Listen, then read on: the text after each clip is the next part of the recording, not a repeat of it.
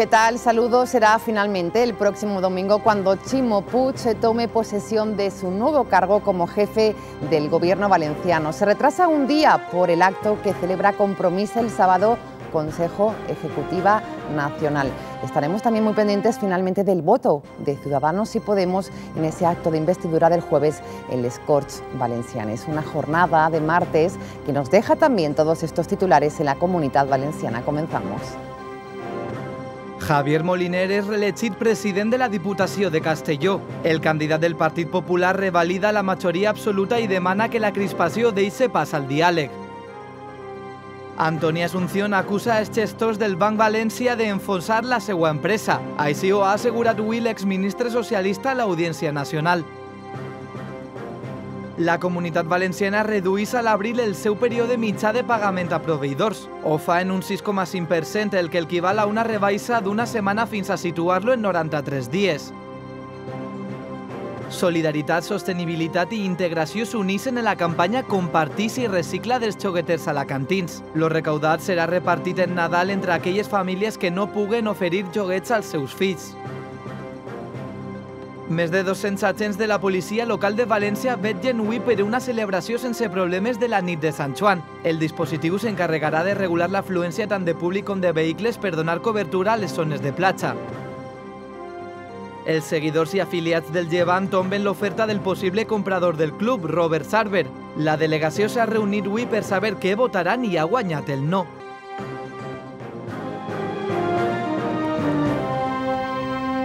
I respecte a l'oratge, Jordi Pallà, bona nit. Què tal, Sílvia? Bona nit. Avui les eh, protagonistes també les tronades. Sí, este migdia començaven a créixer núvols d'evolució en zones de muntanya després d'un matí amb molt de sol, un matí calorós, temperatures que en algunes zones de la comunitat de nou han tocat dels 35-36 graus a les comarques més centrals i després les tronades han agranat la comunitat valenciana des de l'interior cap a la costa.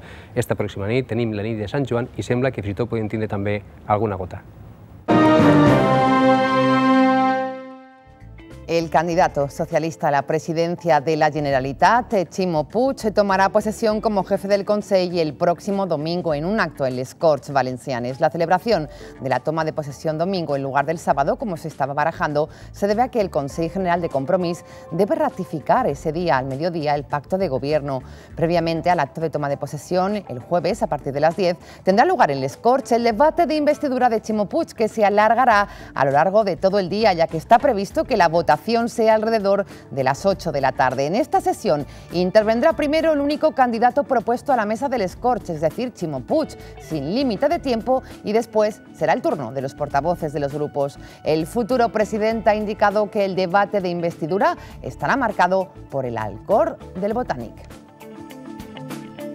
un debat que està marcat també per un acord previ, que és l'acord del Botànic, que intenta donar estabilitat a un govern i, de, sobretot, una mirada de futur a la comunitat valenciana basada en recuperar el pes dels ciutadans i de les persones. Una societat en la que ningú se queda al marge. I, per tant, el meu discurs va ser un discurs absolutament compromès en el que té que ser la nostra voluntat de govern honrat i eficaç, però al mateix temps de reivindicació en el que ha de ser el comportament del govern d'Espanya. Y a tan solo unos días del pleno de investidura, tanto Podemos como Ciudadanos sigue sin definir su intención de voto a favor o en contra de la investidura de Chimo Puig.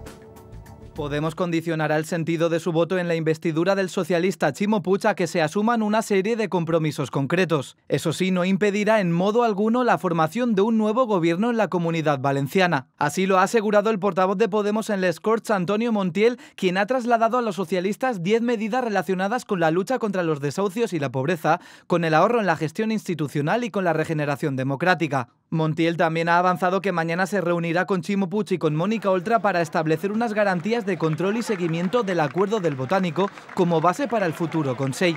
Por su parte, la portavoz de Ciudadanos en las Corts Valencianes, Carolina Punset, ha avanzado que su grupo parlamentario todavía no ha decidido el sentido del voto en el pleno de investidura previsto para el jueves. La líder autonómica ha lamentado que el tripartito no haya desgranado todavía sus líneas de gobierno más allá de frases hechas que comparten todos los partidos políticos.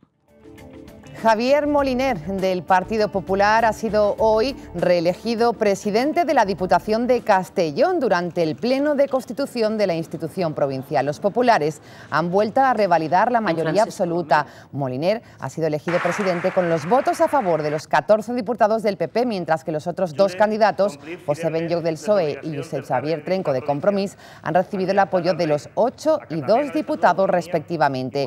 El ya presidente de la Diputación ha señalado durante su discurso que su equipo representará a la corporación desde la dignidad del servicio público. Además, ha tendido la mano al resto de grupos políticos para que la crispación deje paso al diálogo. Hoy también pleno de investidura en la Comunidad de Madrid. En su discurso, Cristina Cifuentes ha ofrecido numerosas medidas que va a tomar, entre ellas bajada de impuestos.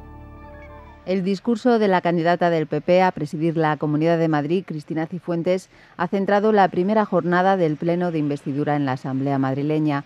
Durante más de una hora, Cifuentes ha enumerado sus propuestas de gobierno con una prioridad clara, el empleo.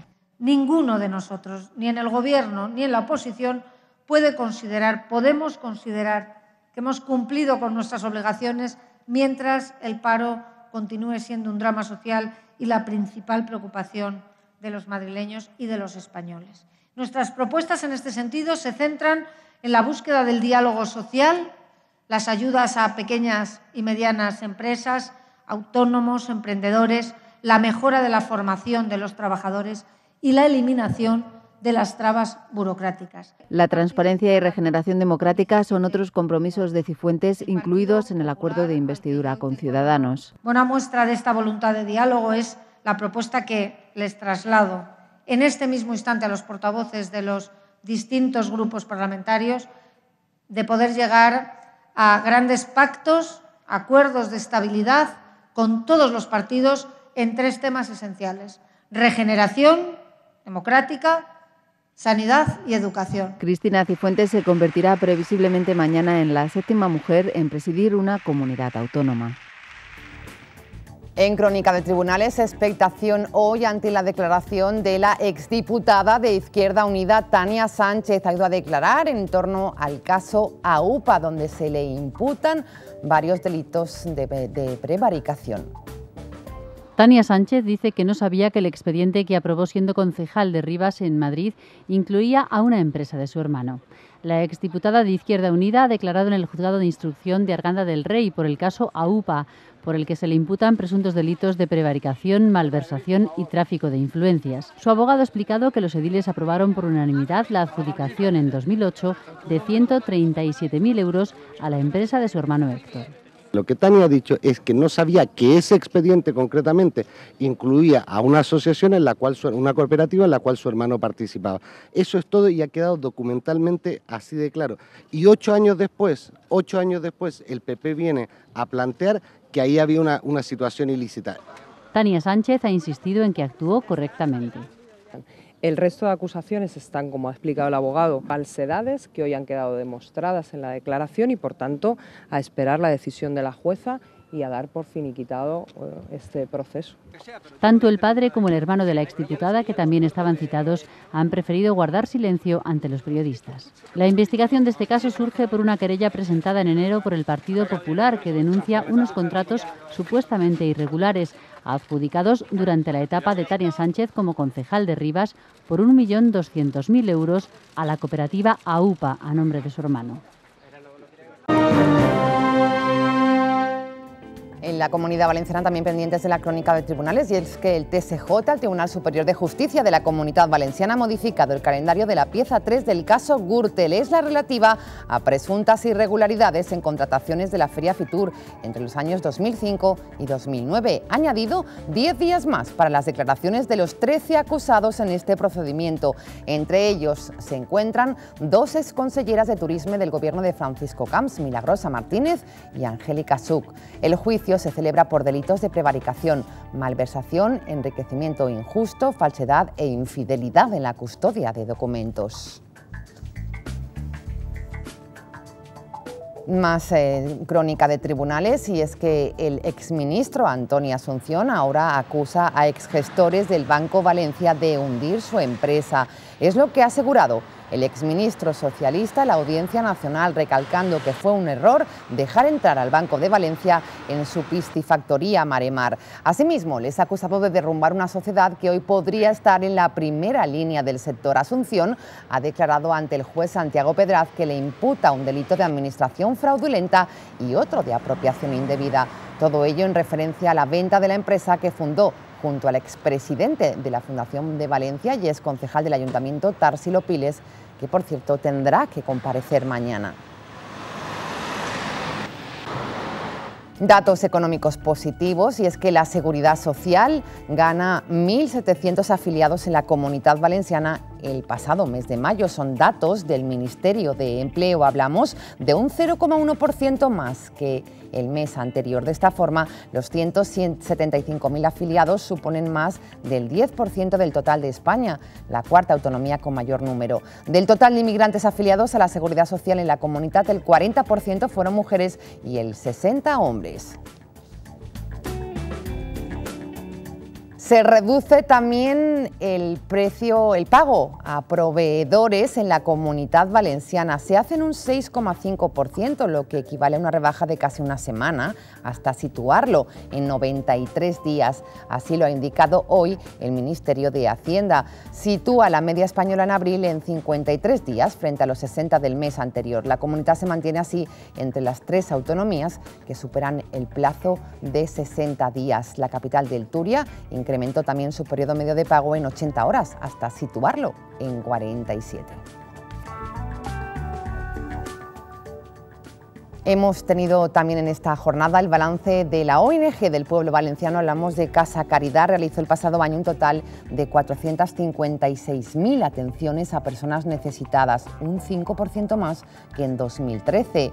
En la última década se ha pasado de repartir 150.000 raciones de alimento a las más de 386.000 registradas en 2014. Desde Casa Caridad han señalado que desde que comenzó la crisis, las atenciones realizadas a personas necesitadas han incrementado un 110%. En cuanto al perfil, el 40% de las personas que solicitan ayuda en forma de alimento tienen entre 41 a 65 años. Además, se ha producido un cambio de tendencia en el perfil. Por primera vez, las mujeres representan el 50% de personas que acuden a comer a diario a Casa Caridad. Además, los niños cada vez más vulnerables.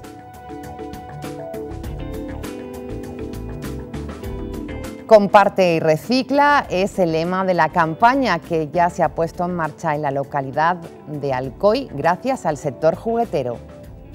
La prolongació de la crisi econòmica durant els darrers anys s'ha emportat per davant bona part de la capacitat adquisitiva de milers de famílies. Això suposa que moltes d'elles tenen problemes per a fer front a les despeses del dia a dia i en ocasions han de recórrer inclús a la beneficència per a fer vida normal. Bona part de ses famílies tenen xiquets que han de jugar per a créixer correctament, tal i com garanteixen els estudis fets al respecte. Però quan falten els diners, el joc dels xiquets deixa de ser una prioritat, perjudicant el seu desenvolupament com a persones. Per a cobrir les necessitats d'eixos xiquets que tenen difícil accedir als tan necessaris joguets, l'Associació Espanyola de Fabricants de Joguets, que aglutina els jogueters nacionals, ha llançat la segona campanya Compartix i Recicla, esta iniciativa busca complir una triple vessant, ja que fomenta la solidaritat entre els xiquets que ja no gasten un cert tipus de joguet, fonamentalment per edat. També facilita el reciclatge, ja que els joguets que no estiguen en condicions seran reciclats. I per últim, ajuda a integrar-se a persones amb discapacitat, encarregats de seleccionar els joguets. Es una campaña que enseña valores, que está diciendo a los niños que cuiden los juguetes porque los juguetes pueden tener vida en manos de otros niños. Y además les está educando en la sostenibilidad, en el reciclaje. La campanya ja ha sigut presentada en Madrid i és valorada de manera molt positiva per les institucions. A més, este any compta amb nous col·laboradors, com el grup A3 Media, que dura endavant la campanya de difusió de la iniciativa. Els joguets seran repartits en Nadal entre aquelles famílies que no puguen oferir joguets als seus fills. Los juguetes, llega una edad que tienen otras preferencias, tienen otra talla de bicicleta, pero esos juguetes todavía en manos de otros niños pueden hacerles disfrutar, reír y divertirse muchísimo. La campanya està en vigor fins el 12 de juliol en bona part de les grans superfícies comercials a tota Espanya.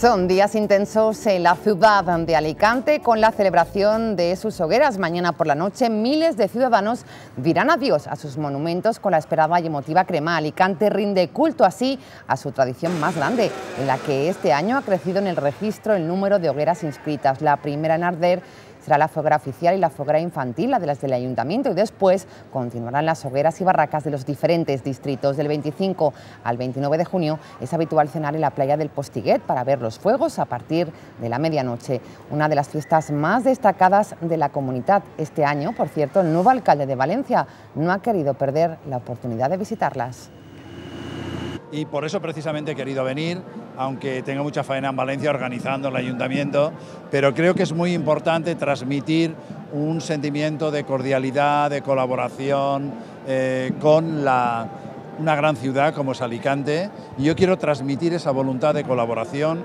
quiero transmitir esa voluntad de que hemos de trabajar juntos en muchas cosas para hacer grande esta comunidad y para que pasemos a veces de una competición un poco inútil, pasemos a una colaboración que yo estoy seguro que será mucho más positiva. Noche mágica hoy en las playas de la Comunidad Valenciana. Más de 200 agentes de la Policía Local de Valencia velarán hoy para que todo transcurra sin problemas. Es la noche de San Juan. El dispositivo se encargará de regular la afluencia tanto de público como de vehículos para dar cobertura a las vías de influencia viales próximos a las zonas de playas. Hay previstos también cortes y desvíos progresivos. Se recuerda la prohibición de hacer fuego en toda la zona de la albufera, así como el lanzamiento de farolillos en las playas de la Devesa para evitar posibles incendios. A ellos este dispositivo se le sumará otro equipo integrado por más de 260 personas, entre personal de y efectivos de salvamento. Todo ello para que transcurra sin problemas la noche de San Juan. Y también Benidorm quemará sus hogueras. Nos vamos hasta dos barrios emblemáticos, el de La Cala y el Campo.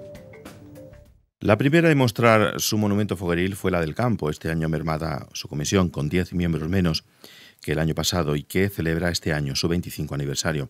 Este año las dos hogueras, la infantil y la mayor, han contado con un presupuesto de 7.000 euros, un gasto similar al del año pasado, donde ya fueron calificadas como las más austeras de su historia. Uno de sus días grandes se vivirá mañana en la Plaza de España, cuando a las 20 horas pronuncien el pregón la Bella Mayor, Sandra Fernández, y la Bella Infantil, Talía Mayor. Hay que recordar que hay dos hogueras que desde el año 2011 no se plantan en Benidorm. La hoguera mayor en este caso del campo, obra de Sergio Martínez, tiene como lema El bicho musical y está inspirada en los animalitos culpables de la crisis.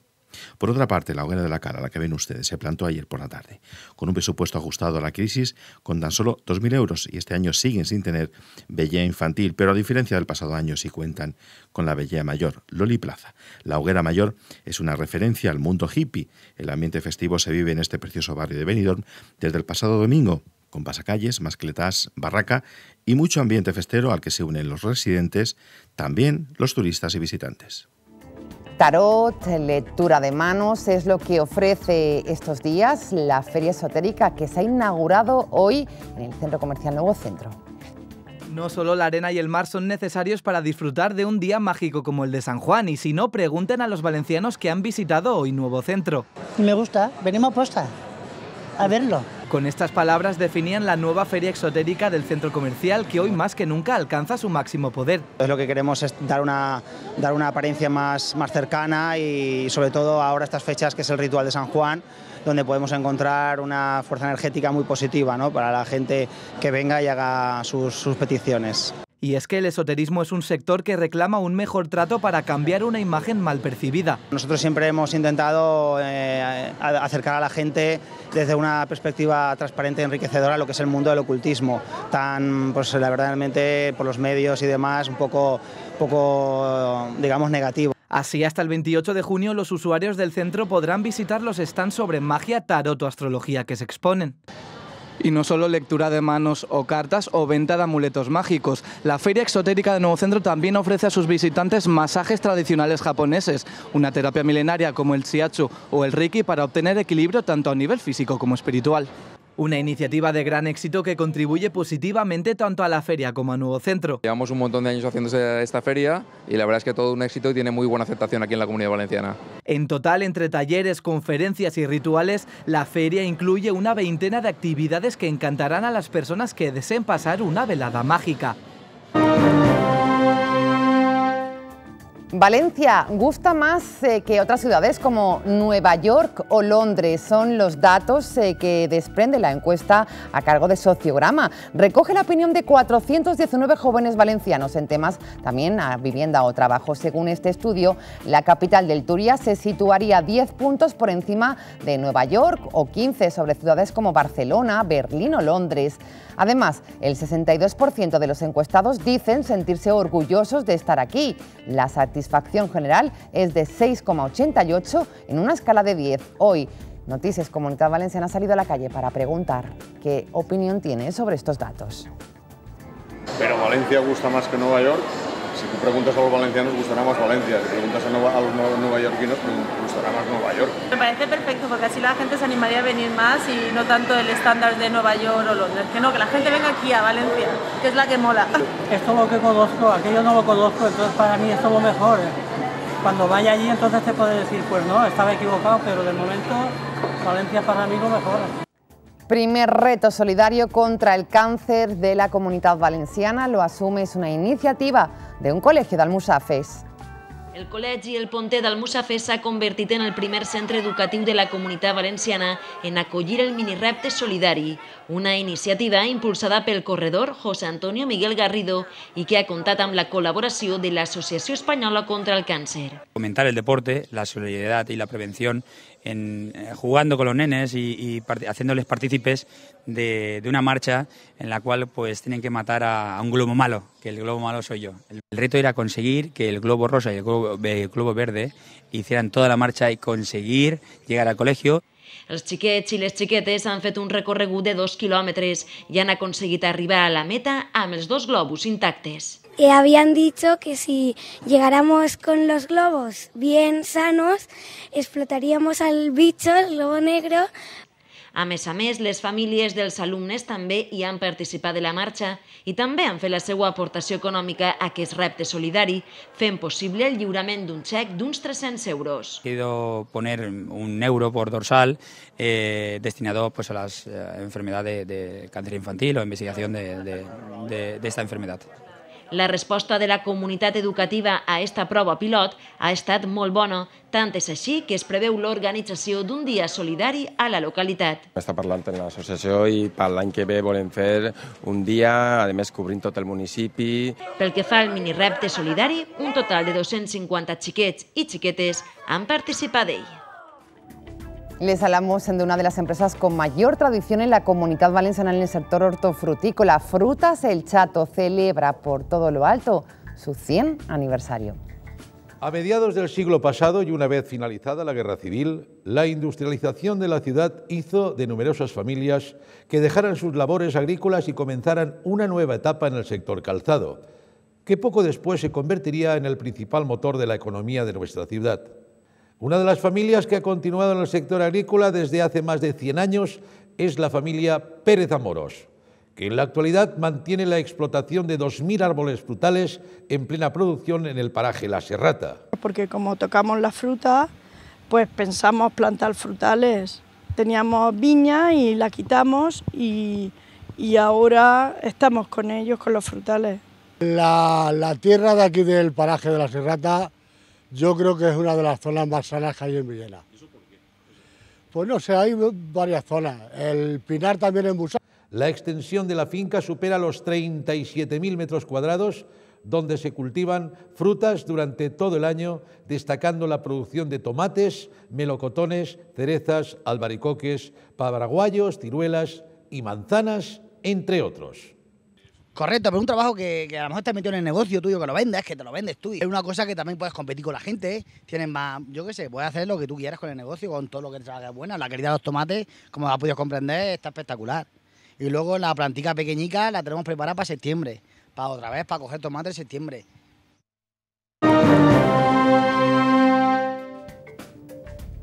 Continúan los actos previos a la reconquista de Orihuela. Hoy se ha celebrado la recepción del embajador. Las fiestas de moros y cristianos de Orihuela siguen calentando motores. El sábado tuvo lugar la recepción del embajador cristiano. Damaso Aparicio de la comparsa contrabandista recibió en su finca de Benejúzar a los presidentes de las diferentes comparsas y cargos festeros. Al acto asistieron, como es habitual, la Armengola Ángeles Vidal, el embajador moro Richard Pérez, el presidente de la Asociación de Fiestas Antonio Manuel García y tampoco quisieron perderse este momento el alcalde de la localidad Emilio Bascuñana, el ahora ya sí primer teniente de alcalde Rafael Almagro y la diputada autonómica Eva Ortiz. Los asistentes pudieron disfrutar de un cóctel en un entorno privilegiado en plena huerta de la Vega Baja. Durante la recepción se proyectó un vídeo con fotografías de la historia festera de Damaso. Su hermana, que fue la mantenedora del acto, contó que el momento más emotivo para ella y su familia de las fiestas de la Reconquista fue cuando vio pasar a su hermano portando el Oriol. Uno de los momentos más emocionantes ha sido cuando, portando el Oriol, pasó por la puerta de nuestra casa y evidentemente pues nos emocionó a todas las mujeres de nuestra casa, desde mi abuela hasta, hasta su hija, su mujer, su madre, todas nos emocionamos. Y es que realmente en ese momento no solo llevaba el Orioles, sino que lo llevábamos todos y de alguna, de alguna manera, de alguna callada manera, rendíamos también un poco homenaje a nuestro, a nuestro querido abuelo Carlos. Aparicio también recibió numerosos regalos y de ahí se pasó a la música festera y de actualidad que sonó durante horas porque la velada se alargó hasta bien entrada la madrugada. Música, también baile y canciones, todo ello en Canal. Se acogía la semifinal del concurso Sona la Dipu.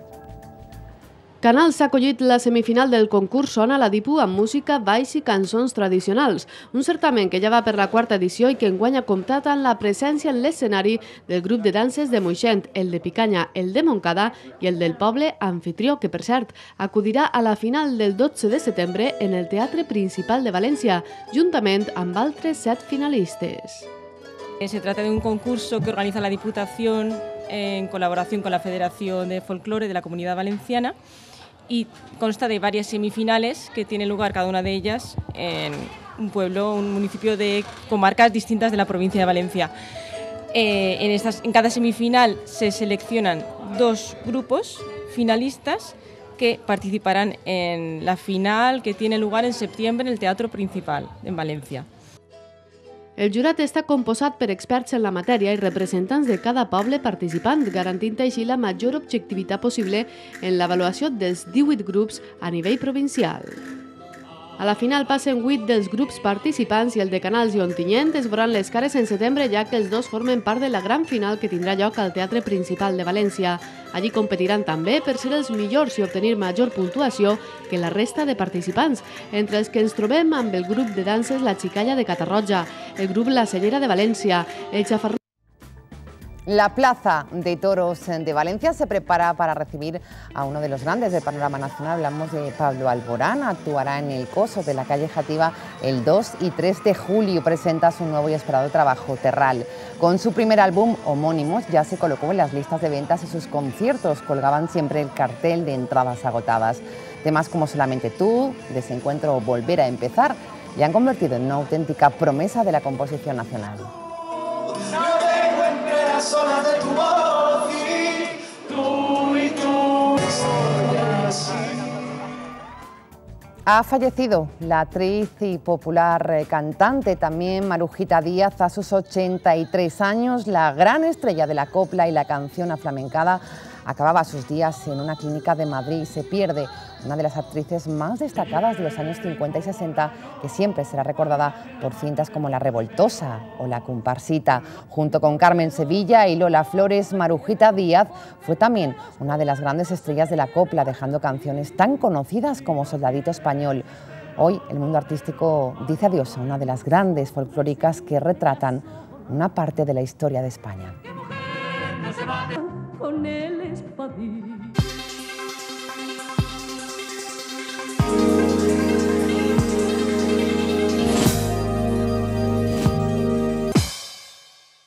Estem ja molt pendents de tota l'actualitat esportiva de la jornada amb el nostre company Paco Lloret. Bona nit, Paco. Hola, què tal, Sílvia? Bona nit. Anem amb la informació esportiva, eh, que té com un dels principals arguments la situació que està vivint-se al Llevant, Unió Esportiva. El procés d'una possible venda a un inversor nord-americà ahir va congregar als, a les penyes que es van mostrar partidàries de no vendre el club, de no acceptar cap negociació amb el nord-americà Robert Sarver. Esta vesprada s'han reunit el patronat de la Fundació i allí, eh, en principi, s'està estudiant la possibilitat d'obrir negociacions o eh, tancar-les definitivament.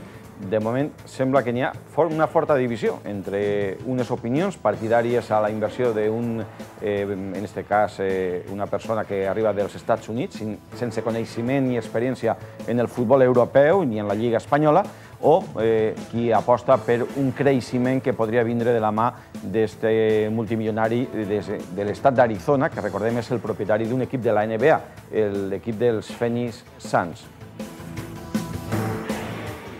I mentrestant, avui en el València Bàsquet també un nom propi, el de Sergei Lishu, que eh, s'ha convertit en el jugador que ha estat més temps eh, defensant la camiseta taronja després de Hopkins, més partits com a estranger del Club Valencià Bàsquet. Ha hagut un homenatge en el que han estat present companys, eh, més dels periodistes i també moltíssims aficionats. Una molt forta ovació per a l'Issu, que ha estat sis temporades, que ha obtingut eh, dos títols amb el València Bàsquet i també eh, que s'ha emocionat molt quan ha intentat pronunciar unes paraules d'acomiadament. Este momento es muy complicado decir algo porque, fu, bueno, en inglés. Dice six años, uh, soy valenciano, eso no, no puedo hablar inglés, pero bueno. This uh, six years uh, here was incredible for me. Is Estos seis años aquí han sido increíbles para mí. I can't explain how I feel now because it's you know, really this city. No puedo explicar cómo estoy ahora mismo.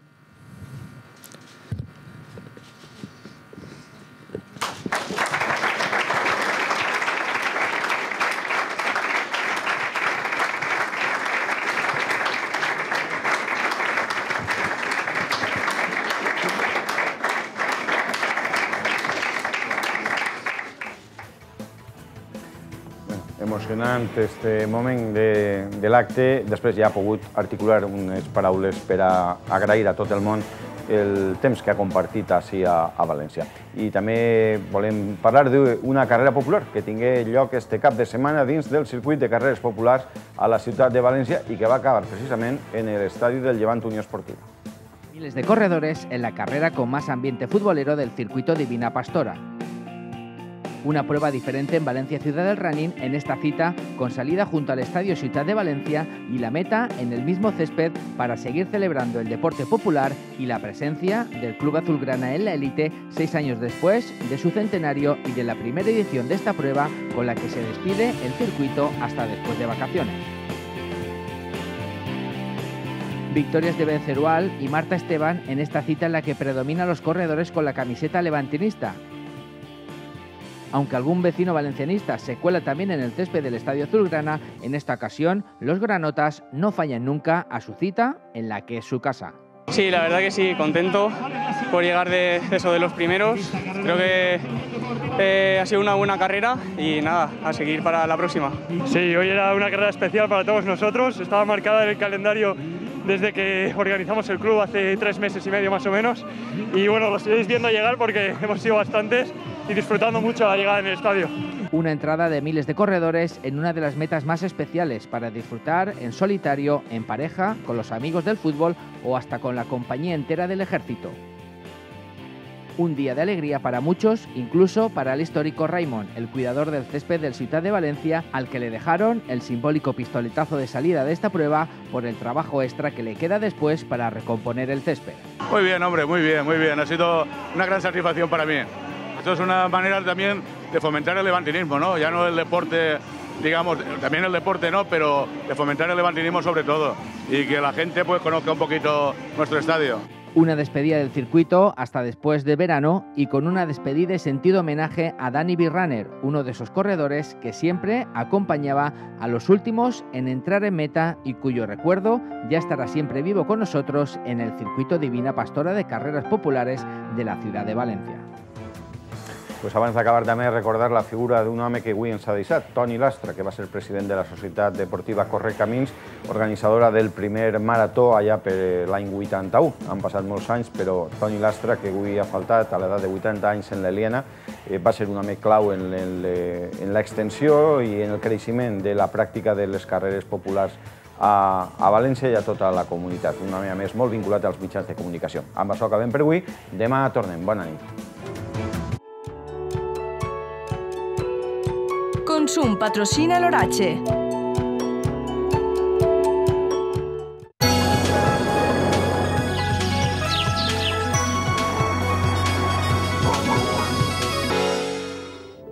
Avui molt pendents de l'oratge Jordi Pallà. Bona nit de nou. Bona nit, Sílvia. Nit de Sant Joan, com es presenta?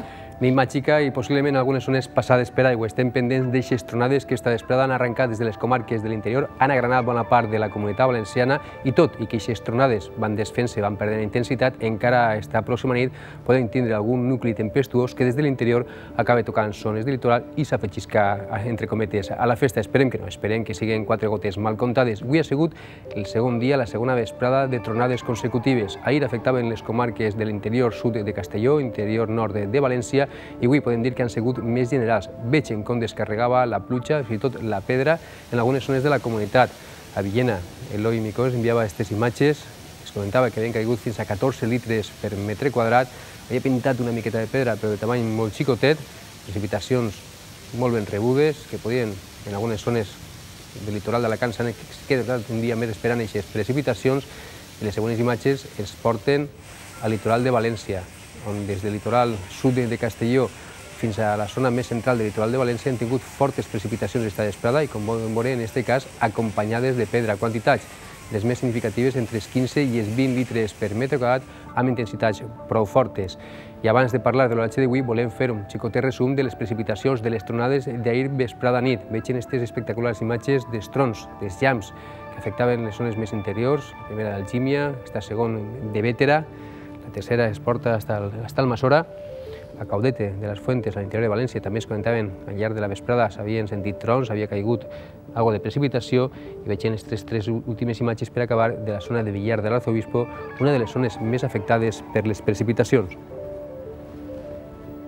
No van ser pluges massa importants, però algun registre sí que és destacable. Destacar aquests 32 litres per metre quadrat que van caure a la zona de Benajever, 21 litres a Titaguas, al Puente, Alas de los Olmos, 20 a Andilla, 17 al Toro, 20 a Montanejos, 17 a Xelva.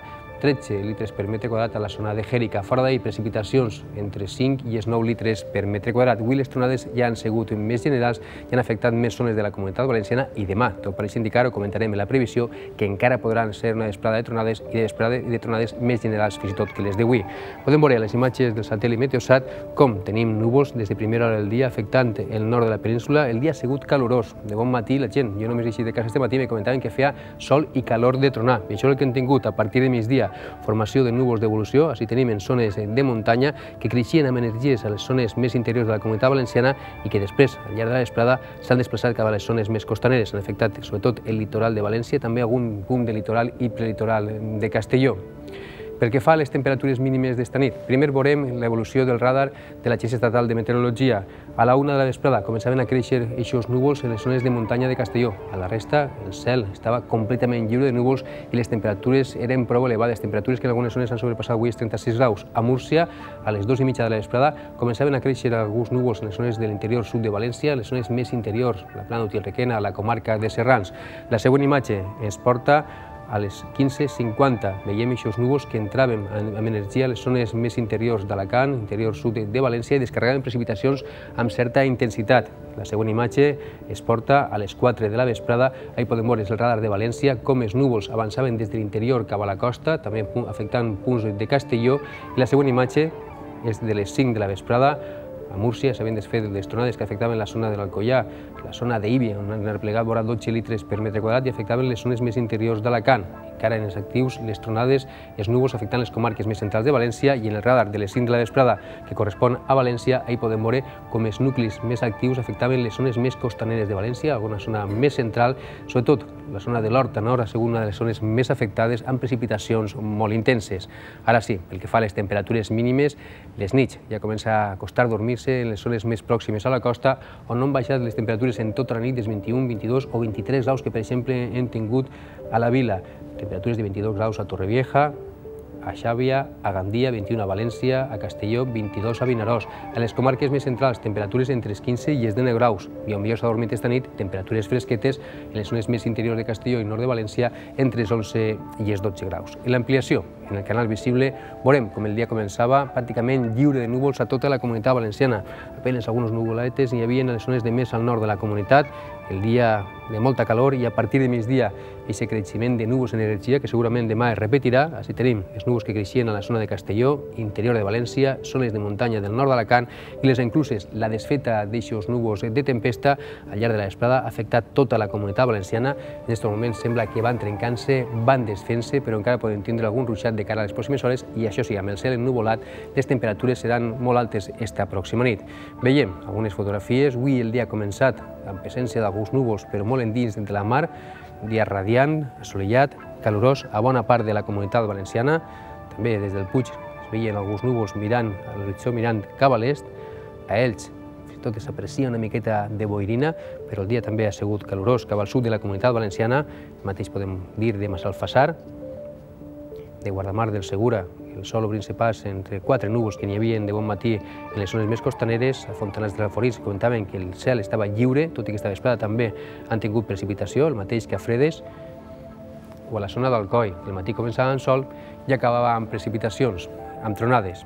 Pel que fa a les temperatures màximes, unes temperatures molt elevades, especialment a les zones més centrals, destacant els 36 graus de màxima de Llíria, de Casinos, també de Sumacàrcer, d'Anna o els 35 de Xàtiva. A bona part del litoral, prelitoral, les zones més interiors, temperatures per damunt dels 30 graus, destacant els 34 de Villena, també d'Orihuela, els 34 de la ciutat de Castelló, 31 a València o Alacant, les temperatures on menys han pujat ha sigut en zones del litoral, d'Alacant, això és 28 graus de Benidorm o de Torrevieja, i cap a les zones més interiors entre els 26 i els 27 o 28 graus. Si fem un recorregut a través de les nostres finestres, comprovem com el dia teníem a la ciutat de València alguns núvols, ambient bascós pràcticament des de primera hora de la jornada amb 21 graus de temperatura mínima, 31 graus de temperatura màxima, tot i que després, a partir de migdia, l'entrada de les brises ha fet que baixaren ràpidament les temperatures. A Xàbia, ambient assolellat, s'han vist en zones de l'interior de la Marina alguns núvols d'evolució esta vesprada a última hora del dia ha quedat el cel ennuvolat, però el matí ha transcorregut amb sol i una temperatura màxima que ha arribat fins als 29 graus. De Xàbia es desplacem al Cira, a la capital de la Ribera. Els companys de Ribera Televisió es comentaven que el dia ha sigut molt calorós, tèrbol, amb precipitacions esta vesprada, nuclis de tempesta que s'han passejat des de l'interior cap a la costa. Acabem el nostre recorregut a Villar, on també esta vesprada han tingut precipitacions. Este matí ja es veien alguns núvols al cel, un dia molt calorós amb una màxima de 34 graus. La previsió indica que demà també serà un dia molt inestable. Ha desaparegut l'anticicló, que aquests últims dies estava situat a la zona de l'Atlàntic. En el seu lloc tenim baixes pressions relatives fruit de la mateixa calor just sobre la vertical de la península ibèrica i això vol dir que el dia començarà calorós, amb pocs núvols, però de vesprada tornaran a créixer núvols, especialment en les zones de muntanya del nord i també afectaran l'interior i nord de la comunitat valenciana, amb temperatures sense canvis, amb una lleugera tendència a baixar la temperatura. Veig l'aixoterma de 20 graus a 1.500 metres d'altura, com continua encorada al centre de la península i afectant també l'interior de la comunitat valenciana. I el mapa de previsió de pluges es mostra com de nou a partir de migdia en les zones de l'interior creixeran núvols i els models, els mapes indiquen que per la nit fins i tot podien tocar zones del litoral amb més probabilitat que avui. Per tant, demà encara hem de creuar els dits en aquelles zones on no ha plogut perquè podia acabar ploent. Amb aquestes condicions de mar, ruixats, tronades, pràcticament a tot el nord de la península, sobretot al nord-est, a la comunitat valenciana, a les zones de més al nord, a les zones de l'interior, avançant cap a la costa amb temperatures que presenten pocs canvis. Esta pròxima nit, pendents del cel, és nit de Sant Joan i poden tindre encara algun ruixat i fins i tot alguna tronada a les comarques més centrals que pot tocar de refiló les zones més costaneres, ambient bascos, temperatures sense canvis. Demà dimecres comencem el dia amb sol, a partir de migdia creixeran núvols d'evolució en zones de muntanya i de vesprada, atenció, perquè caldrà estar molt atent a veure l'evolució d'aixes tronades, d'aixos núvols de tempesta que arrencant des del nord i des de l'interior afectaran bona part de la comunitat valenciana, temperatures lleugerament més baixes. Els següents dies de la setmana, dijous de vesprada, encara poden tindre algun ruixat, alguna tronada, però concentrada a la meitat nord de la comunitat, especialment a la província de Castelló. A la resta, sol i temperatures sense massa canvis i de cara al cap de setmana només podem anunciar sol i molta calor, perquè sembla que les temperatures a partir de divendres pujaran i el cap de setmana podrien continuar pujant, donar valors per damunt dels 35 graus a les comarques més centrals. Acabem ja repassant fotografies des que han sigut els protagonistes de la jornada, els núvols de tempesta.